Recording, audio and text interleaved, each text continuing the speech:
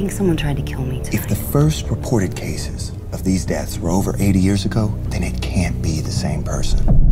What if it's not a person? What would it be then? Ghost?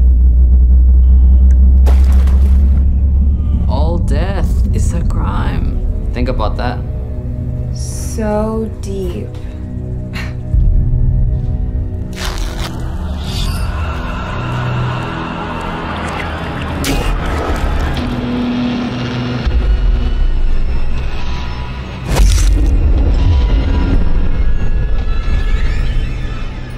Unfortunately, your brother's the prime suspect. He didn't do it.